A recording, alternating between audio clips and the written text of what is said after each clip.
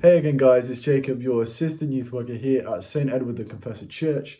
Um, I'm here with another video uh, based off what we've been looking at this term, topic of bravery and courage in the Bible. So this week, our Wednesday night youth, youth group, we looked at Noah and the ark story and how it took a lot of courage and a lot of bravery uh, to build an ark in a land that was landlocked to tell people that actually God told me to build a massive boat because there's going to be a flood that will flood the entire earth. So we looked at that call and then we looked at Jesus in the Garden of Gethsemane uh, the night before he was betrayed and crucified and how his bravery shows us that he called out to God and said, Lord, your will, not mine. And so the theme of that night was essentially being brave and courageous even when God calls you to do the outlandish things. And so today we're going to look at not a biblical character, but a Christian, uh, a Chinese pastor whose name is Wang Yi. Uh, he is possibly the bravest person I have come across uh, that is still alive today. So the country of China has been seeing an incredible increase in its Christian population with millions of new Christians coming to faith literally every year. However, this has sparked a major, major crackdown in recent years of Christian activity.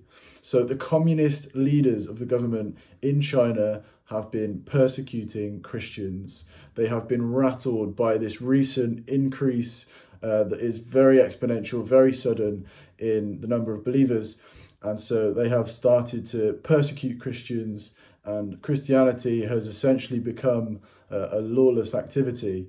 And the reason for this is because the communist leaders want to be worshipped themselves, and I, I'm not joking. So, ever since around December 2019, the Communist Party have been ordering their workers to go to churches and tear down the crosses from the tops of them, uh, to go into people's homes and take out their religious symbols and their Bibles. They've been entering into house churches and ordering that everyone goes out. They've made church basically illegal in their country. Uh, you're not allowed to sing worship songs anymore. You, you're instead uh, supposed to be singing songs of basically praise to the government. Uh, they've been telling them to take down pictures of Jesus from homes and churches and instead replace them with pictures of their government leaders. It's it's unbelievable. It's crazy. Uh, but what it has led to is the people being basically forced to worship the government instead of worshipping Jesus. But Pastor Wang Yi, leader of the Early Rain Covenant Church, uh, which is a reformed uh, church in China, has not backed down at all. He continued to open up house churches, underground churches, essentially secret churches, so that people could worship God uh, freely, but kind of not freely if it's underground. And listen, listen to one of the things that he said about this.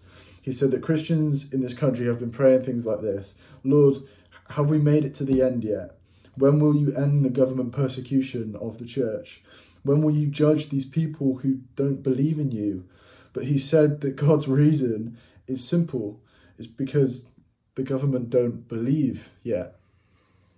This level of bravery and faithfulness to God as well is incredible. This man knows that he's not supposed to fight back, but to pray for these people and to continue to preach the gospel and the love of Christ. This is what the Bible says about it. So in Matthew 5, uh, verses 43 to 44, it says this You have heard that it was said, Love your neighbor and hate your enemy. But I tell you, this is Jesus, love your enemies and pray for those who persecute you. This pastor was persecuted in a country where Christianity was persecuted, and he's praying for the government to be saved, to believe in Jesus Christ. And that is exactly what the Bible says that he should do. It's amazing. Uh, this man just just knows that this is what he's commanded to do and he's done it anyway with courage and bravery. Now in december 2019 this pastor was put into prison. He's serving a sentence of nine years currently for not following these ridiculous laws that the government have passed. And this guy reminds me of someone very famous that i think we've all heard of from the bible I'm talking about the Apostle Paul. He was also preaching the gospel in places where the governments and the officials did not like this new Jesus movement, this this new Christianity thing. And so Paul himself as well was put into prison. And this is what he says. He writes a letter to the church in Philippi and in Philippians 1 verses 12 to 14, this is what Paul says about being in prison. He says, "Now I want you to know, brothers and sisters, that what has happened to me actually served to advance the gospel. As a result, it has become clear throughout the whole palace and to everyone else that I am in chains for Christ." And because of my chains, most of the brothers and sisters have become confident in the Lord and dare all the more to proclaim the gospel without fear. This bravery is amazing. Bravery, even to the point of disobeying what the government says because the government is disobeying God and persecuting Christianity. The similarities here are, are pretty nuts, to be honest. They went through the exact same thing. And the reason they were able to be brave. And this is what Paul talks about in the book of Romans is that in persecutions and in weakness, where all your strength has been zapped away from you, you've got no power.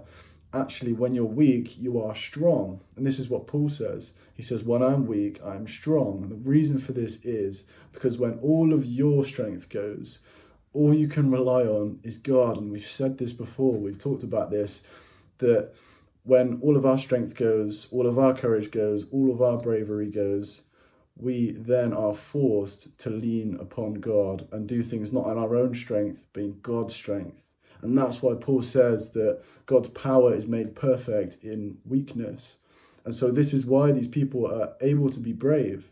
And so I guess for you guys, the next time maybe you're taking a mick out of for being a Christian or people make a fool of you because you're a Christian and what you believe in, Remember what happened to Paul. Remember what happened to this pastor and know that your reward awaits you in heaven. So thank you for listening and until next time, God bless you.